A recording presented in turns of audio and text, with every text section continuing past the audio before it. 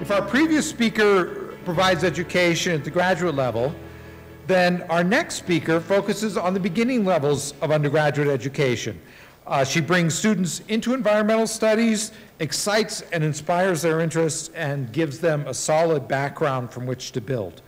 Assistant Professor Jackie Klancher teaches and researches at Central Wyoming College's Department of Environmental Health and Safety, where she trains students at the associate's level in environmental technology. From there, students go on to complete a bachelor's degree at UW or other universities, or they go into industry. In Wyoming, often the energy in industry, where they work in environmental safety, testing, and compliance. Jackie is a leader at CWC for undergraduate research experiences during their early years of higher education. Drawing on her 10 years of experience as a NOLS leader, Professor Klancher's courses regularly provide students with an in-the-field experience engaging in research and data collection, which they then take back to the campus and analyze.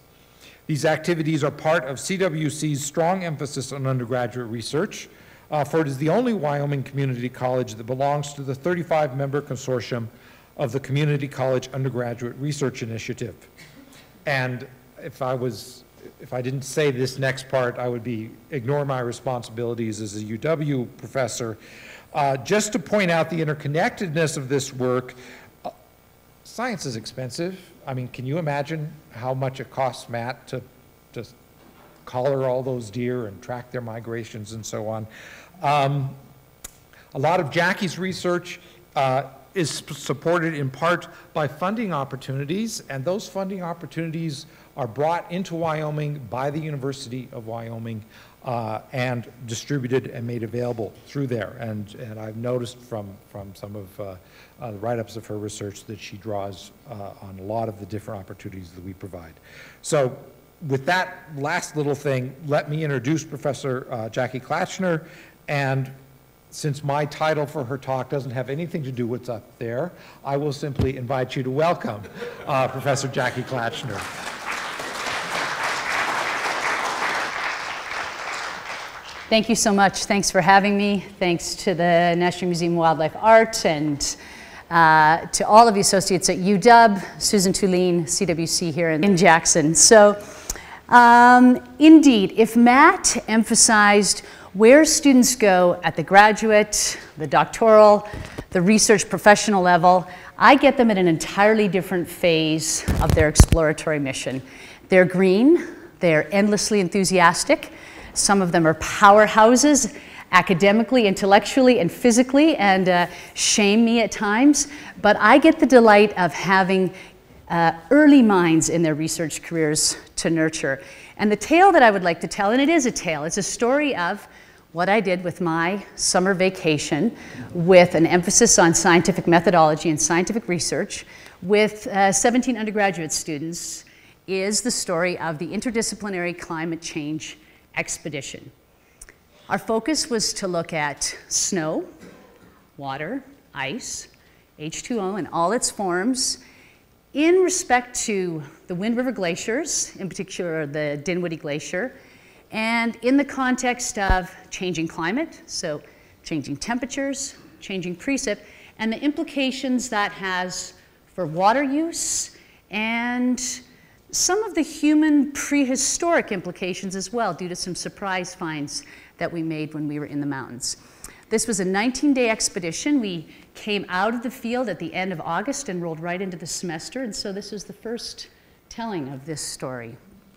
Uh, just quickly, a little bit of background on CWC. We're an open access two-year community college. We have outreach in Lander. We're centered in Riverton, and we have outreach in Jackson and in Dubois. We cover Thermopolis in our service area as well. And as you heard earlier, Undergraduate research isn't a given at the community college level. I so strongly believe that to be a good graduate student and to go on well into your research, either academically or professionally, you need to set that foundation early, that it has become a passion of mine to engage my students early and to give them the skills they need to go on. And also, an engaged and inspired studio, uh, student audience behaves extraordinarily well in the classroom. They will work endlessly hard for you if there's something they see that you can provide to them in terms of a greater experience. So, the goal of my mission was to go on beyond simply going out in the field and citizen science. We wanted to collect meaningful scientific data. So, what does that mean, meaningful scientific data? Well, it can have meaning to you as a researcher, it can have an emotional connection to you, but we wanted scientifically meaningful data that would stand up under peer review, maybe even allow these students to publish, and that came through working in collaboration with other institutions.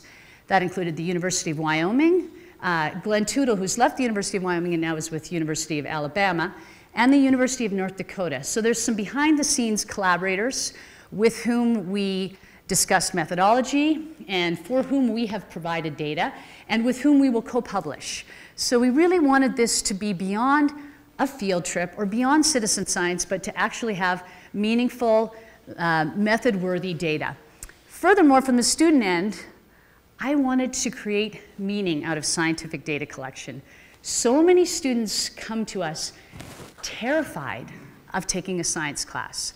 And I have the joy of having two really uh, delightful fields to teach in. One is environmental science, which gives me all the opportunities in the world to discuss primary biological theories, evolution, adaptation, uh, right down to cell biology, but to place it in the context of the planet and with human involvement. And I have another key area of focus, which is geospatial, geospatial information science and technology, which is everything from global positioning systems to geographic information systems, from mapping on the ground to using computer systems to create maps, and extends into the realm of geophysical data collection as well. Uh, both of those skills collectively serve students really well in terms of academic advancement and employment. So they're, they're meaningful to me to teach, meaningful for them to advance professionally and academically. So objectives for this, I wasn't just looking for the easy targets. I wanted students who might be scared. I wanted students who thought, all I want to do is rock climb. All I want to do is mountaineer. That's all I want to do. And I'll teach at a camp in the summer and I'll work at the ski lift in the winter, and that's fantastic. But I wanted those students desperately because I was that student without a real niche in my undergraduate. I was at the University of Calgary in the field of geography, and I loved all that stuff, but nobody ever showed me how to combine scientific data collection, scientific methodology, employment, and these passions of mine to be in the backcountry. I'm not sure the field even of an environmental technician or environmental scientist really had evolved that much at that point. You either camped for a living professionally through NOLS, or you were maybe working in industry, or you worked in some in-town profession, but I didn't know how to merge those together. So in catching students, I wanted students from across every discipline, outdoor education, biology, environmental science, archaeology, associates planning to go on to a bachelor's, or an applied associates looking to finish and go to work. I wanted them all. I wanted to give them something technically that they could walk away from. Um, I'm the daughter of a superb mechanic who builds his own helicopters and fixes everything and I'm a little bit technically terrified. So for me to tackle new skills and walk away with them and be comfortable is a great gift to me. And I wanted to be able to proffer that gift to my students and say, no, you won't just be familiar with this, you'll be good. You'll be very adept at handling a GPS and migrating that data into geographic information systems. You will turn on, collect the data, manage, store, and, and analyze uh, data from ground penetrating radar. Not just familiar, not watching from behind, but everybody uh, getting their hands on those skills. And I would say in the wilderness environment, because we're not working in the lab, we're on the Dinwoody Glacier of the Wind River Range, these skills include rescue skills. They include climbing, they include roped glacier teams, they include first aid, risk mitigation, and staying warm and dry at 11,000 feet. So a lot of other skills in addition to uh, geotechnical, geospatial skills. And I wanted them to understand scientific methodology, where that begins. I wanted to take the concept of a literature review and say, does that scare you? That's okay. All it is is a chase. You're finding out what's been done on this topic, how you can pursue it, and adding into that field of data. It's just a chase, it's a puzzle to figure out. And from there, tell me how you're going to do it. Think about your data and share it with the world. That's the scientific process and the scientific method. So I wanted to give them those skills. Um, we have this uh, lovely new site where students even if the material has not been peer reviewed, the UW repository where students go on and publish, so they still are required to write up and analyze their data. It's not going to go through the Journal of Nature, but it requires them to go through all of the steps of scientific data research, data collection, and analysis. And uh, all of my students will be required at the end of the year to publish on the UW repository. So, a good story. If you're going to tell a good story, you need good characters, you need the protagonists okay? Ideally, happy, engaged students and inspired faculty. You need a setting. I'm blessed to be in the greater Yellowstone ecosystem, to work in the Wind River Range, to have access to the winds outside my back door. Through a decade working with NOLS, there's some places I know really well and some others that have gotten a little rusty. You need a theme. And if I tell my story right, the theme will be obvious and the protagonist's role in that theme will be clear. A plot, if you're going to be at 11,000 feet and you're going in the backcountry for 19 days, things will happen, whether you plan them or not. And the denouement, the wrap up, where do we go from here and where do these students go? So, my students, I highlighted Jake Urban as he's one of your own from Jackson, American uh, Mountain Guides Association, one of our faculty at CWC out in the field. Uh, outdoor ed students, I mentioned these. These were easy pickings for me because what we did was took a scientific module and embedded it in a course that was going to the winds, whether or not I planned and schemed and had students read articles. This course was going to the winds. We took a very tried and true course and shattered it. We added more faculty. We added grants. We added an extra four days in the backcountry. We added uh, 300 extra pounds of food and 400 pounds of scientific film gear, uh, 12, nine pack horses and three mules and three rides, and took something very tried and true and exploded it in hopes of broadening student horizons and changing their trajectories. We brought in students from archaeology in hopes of tapping into a new field of archaeological research called ice patch archaeology, and as glaciers are receding, which our glaciers and the winds are doing, students are finding, researchers are finding, hikers are finding new evidence of historical, prehistorical uh, archaeological remnants in the winds. So we recruited some archaeology students. And of course, my baby is the environmental tech, environmental science program. I wanted students who were dual majored in these programs or who I could lure to dual major in these programs. Collectively, I didn't want them to be outdoor ed archaeology, environmental science. I wanted them to be researchers. I wanted them to be able to say, I performed undergraduate research, I can put it on my resume, I understand what I did and how I got there. So collectively, they became our team of researchers. They were all fellowshipped, they were all paid to do their work. That was supported by National Science Foundation grants, EPSCoR, and UW, and that became their primary role. I wanted to draw reference to having complicated this tried and true outdoor ed course by embedding this science module. We didn't stop there. We wanted to bring in one of our students who's a horse packer and have her bring her and her family out to pack the trip. So a, a student packed for us for one of our teams. We brought in Kyle Nikoloff from Wyoming PBS to start his documentary on climate change and glaciers in the Wind River Range and to give my students the sensation of somebody else is interested in this not just me, not just CWC, but there's a greater audience who's interested in this, and another film instructor, Jeremy Nielsen. Um, the library, the library is a dying breed these days, or so it seems. We're losing the books, everything's electronic. Not at CWC. Our living librarian is also an instructor for the National Outdoor Leadership School, and we said, You will bring those articles, you will bring yourself, and you will bring this scientific methodology and this training into the field, and we'll guide those students from day one through to when they publish. And then, of course, Darren Wells is the head of the outdoor education program at CWC, without whom this first year of research would have been very challenging. It was very nice to work in conjunction with him and with Jake Urban to get uh, the team out in the field. If you're going to mess with something tried and true and engage students in a foreign area, you need God on your side, or if not, at least a bishop. So uh, Ruth's father's a bishop, and we had uh, her father and mother at the last minute. The brother-in-law couldn't come, so we took her 70-year-old parents and all the pack horses, and with God on our side, I guess we headed out 24 miles into the backcountry. So, protagonists and a perfect setting. This isn't the perfect setting for everyone.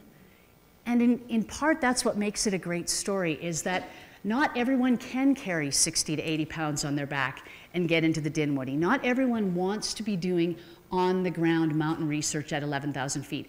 Not everyone wants to poop outside for two weeks. but when my students seemed grouchy, I tried to expand on that and say, not everyone's back here. That's why it's special. Yeah, it's hard. Yes, the packs are heavy. Yes, the gear is heavy. Yes, we're tired. Yes, it's 11,000 feet. But not everyone is back here, and there's a reason. So chalk that up as something that builds your confidence in your abilities and uh, your capacity to perform while you're out here. In respect to our backdrop, there's been a lot of researchers before us. The Dinwoody has attracted a fair bit of attention, in part because it's accessible and in part because located adjacent to it is Wyoming's highest peak, Gannett Peak. So a lot of people end up traversing parts of the Dinwoody or camping at the base of the Dinwoody Glacier as they go back to Gannett Peak. Um, over time, it began to, uh, in the observational phase of scientific process, be observed that these glaciers are shrinking. The terminal moraine, where the glacier used to be, is no longer filled with ice. It's just a big rock pile. The actual terminus has shrunk and the volume has decreased. So from 1996 to 2006 was one of the first major studies performed by Thompson and al. And they came to the observation that there was a 39% overall decrease in surface area of the Wind River glaciers. That was followed up with a recent publication in 2014 looking at the volume decrease, and the actual volume, not surprisingly, also has decreased considerably down from 1966 to 63%. So takeaway point, the Wind River glaciers are receding, not unlike the glaciers of the Tetons or the glaciers of Glacier National Park. And certainly land managers and individuals who monitor water are paying heed to this. We have these fantastic water storage areas at high elevations that are shrinking, compressing, and melting. And clearly the implications for that in states that are affected by this are certainly worth pursuing. How significant they will be ultimately depends at this point uh, on which specific glacier and which range you're talking about. But Wyoming, Wyoming is a headwater state, and we'll look at that in just a second. For those who've been into the winds, I know I spoke to somebody last night who spent some time on Mammoth Glacier, which is 15 on the other side of the winds. Dinwoody Glacier uh, feeds right into Dinwoody Creek. You go in through Trail Lakes Roadhead outside of Dubois, and all of the glaciers in this image were heavily studied not through on the ground research, but through remote sensing and aerial photos. Not everybody has the time, energy, inclination, or money to spend that much time on the ground. So we use other tools that we have, but like every technology and like every research, what you want still is ground truthing. Dinwoody itself, rough approximations over the past 50 years are a 34% decline. You can clearly see one of the uh, lateral moraines down at the, coming from the side glacier on the far right-hand side of the screen there. And there's plenty of places, if you go back in aerial photos over time, uh, which serve as consistent landmarkers that show you, without question, the terminus has receded. So why why these students? Why this research? Why now? And why the winds? And I guess in terms of these students, they're what I have, they're my connection, they're my raison d'etre, they're my, the people I spend most of my day with, and when they shine, I shine. So they are uh, the biggest part of my social circle for the most part, and I want to see them successful. Why this research? It's contemporary, it affects Fremont County, it affects the state, it affects the nation. We're a headwater state. Why now? We're in the heart of the biggest conversation of our time, perhaps, discussing global climate change. Why the winds? Location, location, location. and I guess we have many, many pedagogical discussions about meeting students where they're at and how significant it is that they text, so we should text. So I should give you all clickers and I should ask you questions and you can click to me and I can click back and how I'll focus on what I'm going to say while I'm doing all that, I have no idea. But embracing technology and meeting students where they're at. And I, I, I totally embrace the use of technology, especially geospatial technologies in my field. But for me, I wanted to meet students someplace else. And I wanted to make great use of the skills that I could bring and the passions that I have for the backcountry and the training and fuel that. And so my common ground for these students was to go to the hills.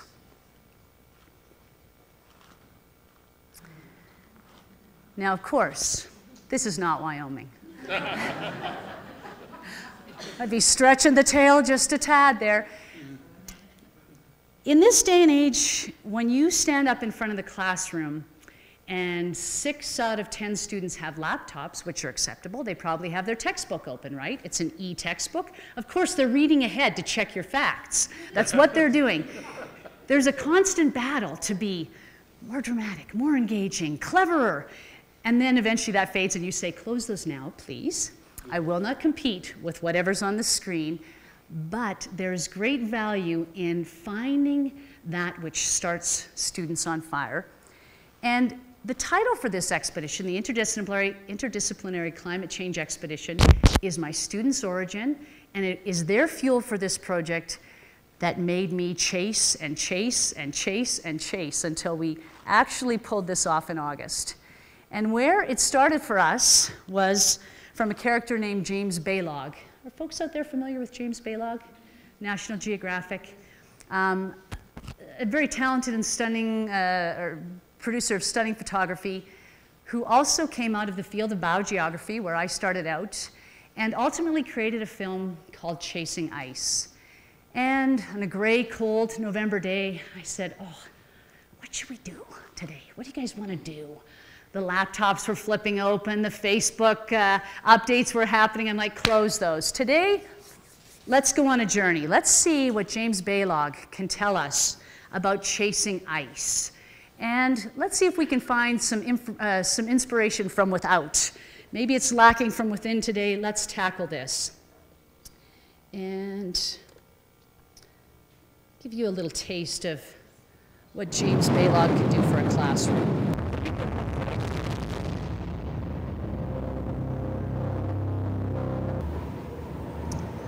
Just another humdrum class video, right? Imagine 90 minutes of that. Now, of course, I can wreck a movie. I can stop it every five minutes and ask questions and talk about is it spin, is it science? I can really take all the fun out of watching a movie, but I let them watch most of this in, uh, in one fell swoop, in one setting. And, and you can't, as a science instructor, as a, an environmental science instructor, avoid or uh, not be willing to discuss every aspect of the conversation of climate change in your classroom. And within the first couple minutes of this film, we also get a nice intro to climate change discussion. Ultimately, within the first two minutes of this video, he pitches every argument you can have for and against climate change from death and destruction to uh, increased plant growth to political and uh, economic chaos. And from there, we chewed climate change apart. We discussed glaciers. Uh, we discussed changing temperatures as throughout the Rocky Mountain West over the past 30 years in particular and beyond.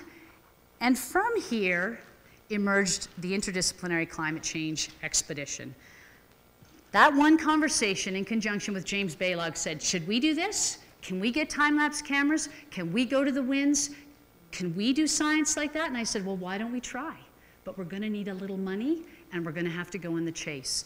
And we brought in many, many partners, Wyoming PBS, the Wyoming Center for Environmental Hydrology, NASA Space Grant Consortium, National Science Foundation, all our old friends at NOLS, and EPSCoR through UW. And we chased, and we sought, and we pleaded, and we talked to everybody in the film from Chasing Ice at INSTAAR down at the University of Colorado and at UW, and we changed the face of science for these students pretty much got rid of that one. Science is not boring. Science is a chase, fueled by curiosity, inspiration, and motivation. Researchers are boring. Am not. Am not. Well, it won't stay white long in the field, but if you want to take a white fleece, go ahead. It's too hard. Science is scary, and and they're all full of crap and you never understand them, anyways. We tried to dispel those immediately. And off into the Wind River range, range we went. Roughly 680 snow and ice bodies, including 63 uh, still considered glaciers at this point. This is said best when it's said by my cohort who can imitate James Earl Jones and would say daily, From ice comes water daily, especially when the tent was flooded. From ice, Jackie, comes water. A headwater state. What does it mean to be a headwater state? For my students, it meant nothing initially. If you lay out the water resource regions and go, look at the magic of this. The Great Divide, the Continental Divide, that is the mountain range that we're talking about. The glaciers feed, respectively, the Missouri, Mississippi, the Green and the Colorado, the Snake and the Columbia. Our water on the Dinwoody goes all the way, uh, hundreds of miles away, down through the Missouri Water Resource Region.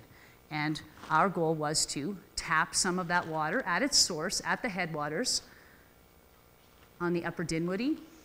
Just to give you some frame of reference, from Dinwoody Creek down to the Wind, down into the Bighorn River, and out into the Missouri Water Resource Region.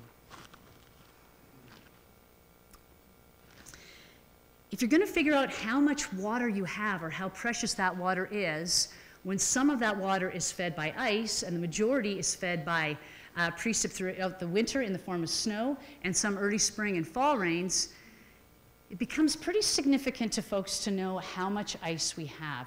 We can do quite a bit with aerial photos and remote sensing, but if you comb through the literature, they'll comment frequently what you need is on the ground ground truthing. And it is not an easy process to get gear and students back into the backcountry to do that. This summer, we did some reconnaissance and feasibility studies using ground penetrating radar. We had some great successes. It works marvelously. Um, it showed us there's lots and lots of ice up to 11.4 meters where our capacity to go deeper ended. And we know that next year we need to go deeper, take different equipment, and uh, still employ the same technologies. But these students now, when they hear the use of ground penetrating radar for archaeology and Stonehenge, have a connection to that. They know how to collect it, they know how to read GPR data, mounds and mounds and screens and screens of this telling us got ice. So, uh, tremendously successful in some realms, uh, less successful in others, we need to go back again. But essentially, uh, we're all holding microwave ovens, turning them on with the door open, and making laps across the glacier, which certainly sounds easy enough, except where we're at 11,000 feet. And this isn't the lab, and this isn't the front country, and you cannot get hurt. Not on my watch, please. And so, when we are looking at collecting samples of water from the glacier and from fluvial troughs in the glacier created by runoff, and students are roped up and being extraordinarily careful. Above all, although science is excruciatingly important, I want them to be safe. So down in the lower ice, students are not roped up here where we can see what lies below. Any place there's snow cover, we start to rope up our teams. And despite all of our best intentions, um, there's two things that happen on a glacier that are called inherent risks. That means unless you're extraordinarily negligent, um, they're considered risks of traveling in the backcountry. One of those is rockfall, and having lost several friends to rockfall, it's real, it happens. Not on my watch, please. And icefall. Now, in our situation, we didn't expect a serac to fall. You actually don't expect that much on the Dinwoody. It's used extensively by many organizations, including NOLS, traveled on a lot, but we did have a serac fall, and it looks like nothing. It's just a little bit of white snow over there. Um, that's actually the size of a tractor trailer. So it was a good reminder for me, all impassioned about scientific methodology and students engaging and using technologies, that this is still the mountains and not everyone goes here and not everyone should go back there if they're not well trained. And a reminder to me of where I was and a little uh, communing with Newton. So, what did we do out there?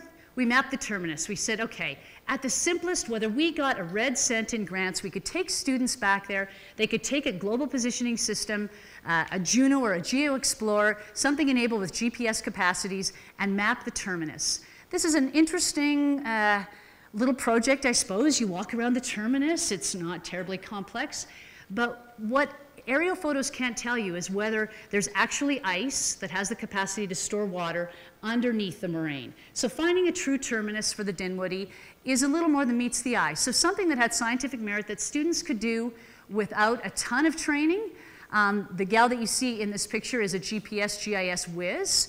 From there, I wanted them to have the professional and academic ability to be able to go on and commune with other organizations, tell them what we found, and see if there was an element for them to contribute to greater estimates of mass and volume on the Dinwoody. So these transects are combined with digital elevation models from the University of North Dakota, which will confirm and, uh, and put a new bit of information out there concerning mass of the Dinwoody and will lead to this student being able to publish in conjunction with the University of North Dakota for original research contributing to a master's research by another student. Not bad for a GeoExplorer and a trip to the winds. Okay, simple enough skill to be able to take GPS data and integrate it into a geographic information system and make a map, but not if you don't know how. Okay, the great thing about geospatial technologies is with a bit of training, you can go remarkably far. With no training, unless you're remarkably brave and or technically very adept, you stumble around tremendously. With a couple of courses and some hands-on experience, these students are ready to work in industry. They're ready to work in archaeology. They're ready to go on to UW, take some more courses, and do their master's research. Much further than when we started. Something happened that was a little bit unexpected up there, and uh, although we had archaeology students hoping, hoping, searching, we made some great lithic finds up at uh, close to 11,000 on uh, line, 10,600 feet. So our archaeological students are on fire, and uh, had nothing to do with me. It had to do with them being in the backcountry and finding lithics at that high. They will go back. They will cross over Bonney Pass, which takes you from the east side of the winds to the west, and again, set themselves up professionally and academically for their fields in hopes of publishing and hoping to go on to UW and hoping to complete masters in some realms. Another facet we explored, in, in, terms of climate change, we talk a lot about the term the positive feedback cycle. You just can't turn it off. One thing begets another, and it just keeps going on. The same thing is predicted to be happening on the glaciers. A nice white glacier reflects the sun and the heat back. You get dirt on the glacier, just like dirty spring snow, it absorbs more heat, it exacerbates the rate of melt. The more melt you get, the more fluvial erosion you get, and the cycle goes on. And in conjunction with the American Climbers Science Program and a gentleman named Carl Schmitt, we also engaged in a totally original project on the winds, which was snow sampling looking for carbon-based pollutants. Asking ourselves, is there uh, evidence of carbon-based pollutants? If so, can we trace it?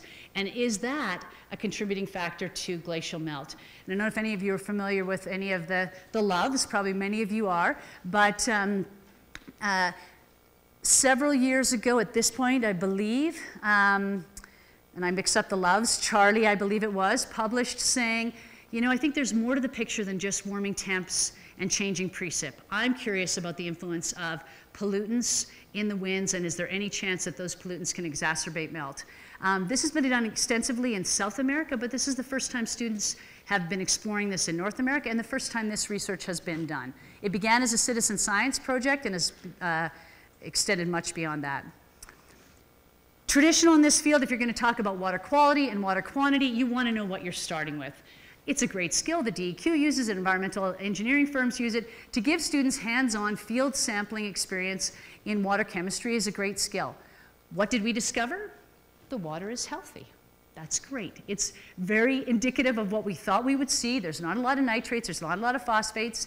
There are some interesting changes in the macroinvertebrates, though, in the biotic community of what we refer to as bugs and insects in that stream, though. And one of our students, who is an ace fisherman, um, will continue to work with UW and with Western Community College, looking at what we found in respect to macroinvertebrates, how the community is changing as those streams lengthen and the glacier recedes, and the implications that has for fish species in general uh, watershed ecology.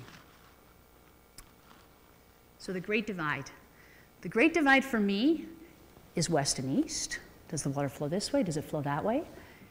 It's the Great Divide between students engaged and inspired and watching you and chomping at the bit to talk to you after class and wanting more, going farther, and being lost in the system. It's the divide between scientific theory and discussion and scientific application. It's the divide between uh, one side and the other on climate change and students having a role in hands-on investigation that makes them feel involved in a topic that seemed esoteric.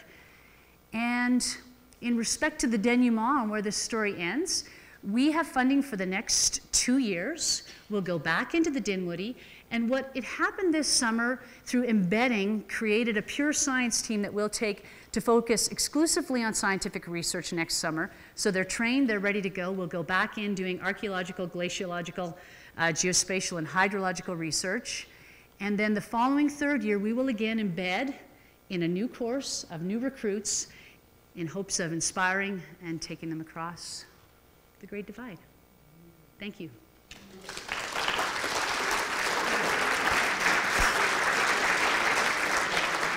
Yes. What kind of background do we have to have in order to be able to be chosen to go on one of your trips? Initially, uh, a very positive attitude, a willingness to pack like a mule, and uh, some, some decent sense for keeping yourself alive is helpful. Um, some willingness to read uh, some scientific journals also helps. For my, uh, my, my root crop, my first year, I wanted engaged students who were willing. And, and I wrote that into the job description. They had to apply for the job, they had to go through HR, and I said, these, these are the top four requirements. You will maintain a positive attitude.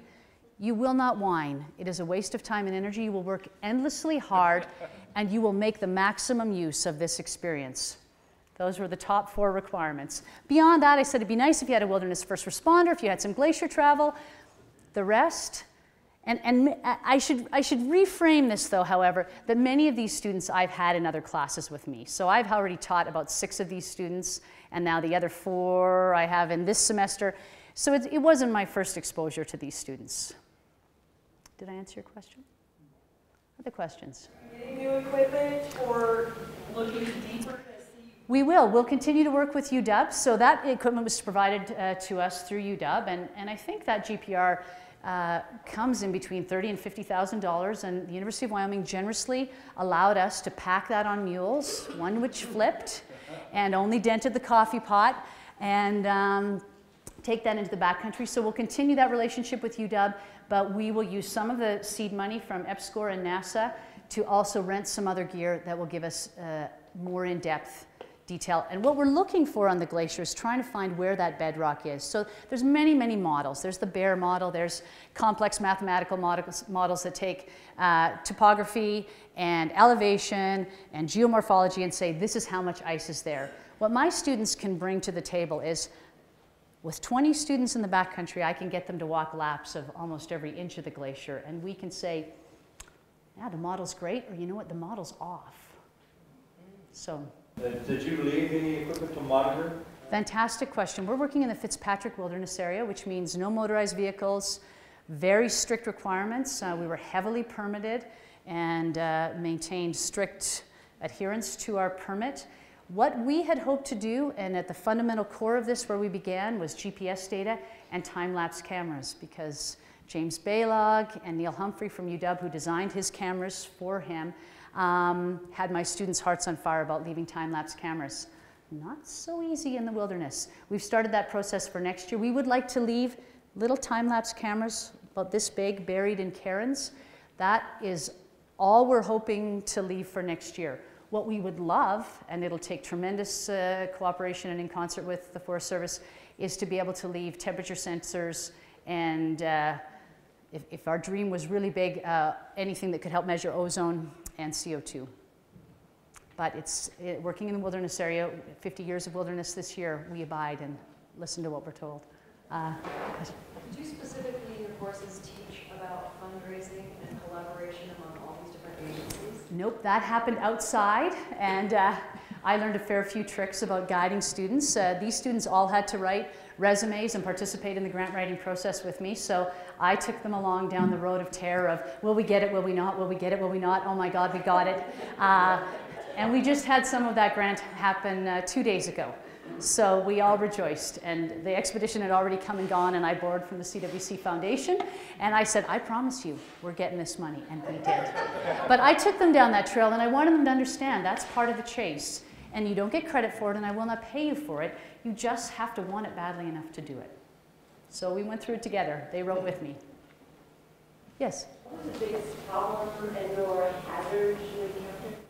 Uh, rockfall in August, those slopes as the uh, temperatures are high, we probably were 85 a couple days in a row. You get a nice gleam of water on the glaciers and rocks move. So you hear a lot at night, things coming down, and it takes some, some very tight risk management. We worked carefully as a team amongst uh, the American Mountain Guides Association, NOLS instructors, myself, and our, our living librarian, who's also a NOLS mountaineering instructor, to really monitor tightly what we do. The second, which is a highly controlled risk, is glacier travel and, and crevasses. That is a highly mitigatable uh, risk, however. You rope up, you teach students how to do uh, an arrest and how to rescue from a, a crevasse, and that's very manageable. Rockfall and Serac fall, the surprise for us, uh, icefall, are our two biggest, uh, biggest risks that we face. Yes? Do you anticipate being able to study any other species beyond the, the insect species, like the pika? Do they live at 11,000? Absolutely, pika are there. For now, we're pretty preoccupied just with the hydrological and the geospatial tech elements of this. Um, the macroinvertebrates will continue to focus on. Beyond that, if we were to expand this into any other species, it would be to monitor tree line and to look uh, as, as global circulation models predict changes in precip, less during the summer months, and warming temperatures, what will happen to tree line in the winds? Highly manageable for students to monitor and of relevance, and certainly under great scrutiny in Glacier National Park right now. Other mammalian species, probably not so much, not at this phase. Thank you. Yes? Did you do any ice core sample to check CO2 levels or other? that will start next summer. So great question, and I forgot all about uh, reciting the question, my apologies. Did we do any core samples? We did not this year. We had, I guess, our hands full um, for this season, but we are very interested. In terms of a resource, you know, James Balog's talking about when it's gone, it's gone. The record that we can pull out of those cores in respect to CO2 and, and ice, uh, ice dating and aging is phenomenal. Once it's gone, it's gone. So that is our next goal. And there's been some work done on the Fremont Glacier. We very much would like to dive into that realm next summer. Getting them out is, uh, is a work of art. When you talk about a runner team, if you're really trying to get ice cores uh, out of the mountains from 21 to 27 miles back, when you're not allowed to bring in motorized vehicles into the wilderness area, is complicating uh, for us on the Dinwoody. But there's other glaciers where we could look at it as well. Great question. Can you just talk a little more about what we know about the extent of glacier loss and change that's already been documented? Yes, so from 1996 to 2006, uh, Thompson and his team did an extensive study using aerial photos and remote sensing. And I would say they probably wrote the book for the winds in terms of glacial recession. And I would dare say at this point, consistent up to you know 66% loss of volume and 39% loss of surface area. That's the average for all of the winds. The Dinwoody was actually predicted to be gone by now. That didn't come to fruition, but over the last 50 years, reducing roughly in 34% surface area. All of those um, calculations, for the most part, are based on air photos, remote sensing, and modeling. What we don't have uh, is on the ground ground truthing of each of those glaciers. So the big picture, you bet, they're receding. I'm not sure there's any exceptions of the 44 that they sampled. There might be two that had one growth year in the middle of that 1966 to 2006. But in general, the, by and far, the trend was recession, and very loosely stated in the analysis of these reports was uh, to, to increasing temperatures and uh, change in precipitation. The two things that you have to have to form a glacier are precip, snowfall, and the temperatures to hold it. Yes? Were there any scientific findings from this first expedition that were surprising to you? Um? Thank you. Were there any scientific, or were there any findings from this first expedition that were surprising to us? We were a little high in black carbon for being as remote as we are. We meet classic sort of what exists right now for North American standards for black carbon deposits, product of combustion. For being in the remote wilderness area, we were on the outer edge of that, and that's something that we definitely want to explore more in terms of black carbon pollution. Uh, beyond that, did we find tremendous surprises?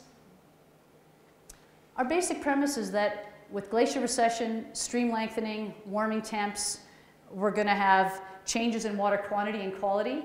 And we know in respect to water quantity that it does impact, sometimes increasing water quantity because in a warm year you've got more melt off down below.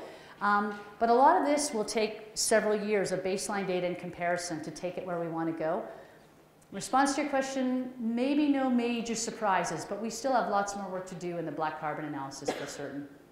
Yes? Does the, the amount of black carbon hint that maybe before so much of the snow has already been um, melted, that there was more pollution? Well, what we're trying to do through the black carbon analysis is source out, is it from forest fires? Is it anthropogenic? Is it through uh, combustion, through engine combustions, cars, vehicles, industry, et cetera? Um, and trying to discern that from accumulation of dust and see what darkening of those slopes can exacerbate and create that positive feedback cycle of glacial melt. Did I answer your question?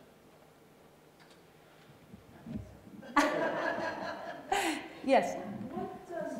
Evidence about human existence mean? Does that mean that there is a cyclical pattern and that the glaciers weren't as extensive as they later became? Since you were able to uncover that human evidence, it seems, it just seems interesting. So what are the what are the implications of archaeological finds at this elevation in respect to cyclical climate change patterns? Um, I might quickly get out of my realm of expertise here, but I can tell you that these glaciers are associated with the Little Ice Age, predicted to be anywhere between 1,500 and 3,000 years old. So we're anticipating that archaeological remnants that we find that demonstrate natural resource use or inhabitation of these areas happen sometime within that time frame. In the bigger picture, going back historically, I would quickly get out of my realm. But what it does demonstrate to us is certainly humans lived and traveled higher than we used to look for them. And anybody who's been into this area and gets onto the Dinwoody, you can't help go, but what's over the other side of the pass? So the next quest will be to see what remnants we find of prehistoric uh, archaeological remnants for going over Bonney Pass to the west side of the winds, and was this a human pathway that has not been explored? So our archaeological team are very excited, but I quickly get out of my realm of uh, capacity to address questions on that one. Did I answer your question enough? Yes? In terms of watershed, in a given year, how much of it is glacier melt, how much is snow melt? It varies across the winds anywhere between 2% and 13%, and it depends on the year. So some of the glaciers, some of the smaller glaciers especially, not a fantastic contribution. At 13%, though, and this is based on rough correlations of mass volume and uh, watershed gauge analysis through the USGS and other partners, um, once you hit up to 13%, and several of our glaciers are much higher than that, does that 13% make a difference over the next decade or two decades or three decades? And it starts to be much more significant. So the averages from 2 to, uh, the range from 2 to 13, uh, depending on which glacier. There are a few outliers outside of that as well. So um, you can get both sides of the story. I've talked with researchers at UW who say, you know, we didn't really find what we thought, that we'd see such a tremendous contribution. And from the other side, you could say, hmm, but 10% going through the Wind River Indian Reservation right now is a big deal. And that's 10% that people will be highly monitoring and concerned about in respect to habitat and human use and irrigation and industry. So, yes. Um, do you think that as there's going to be some scientific or safe use and scientific analysis for drones, or have you used those, or it's been an issue here, their misuse has been an issue? Do I think there's any application for drones? Um, oh, there's all kinds of miraculous things you could do, but I will 100% be toeing the party line of abiding by Forest Service permit requirements in a wilderness area. When I'm back there as a civilian and I'm climbing, I would be extraordinarily disgruntled to have a drone bomb me on Gannett Peak. I would be extraordinarily disgruntled to have them in my camp. And so we're very conscious of that, even in respect to leaving equipment.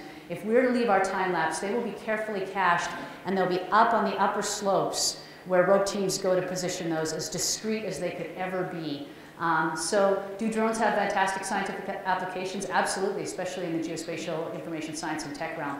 In our world, in the wilderness, in the wilderness, Fitzpatrick and other, not so much at this point.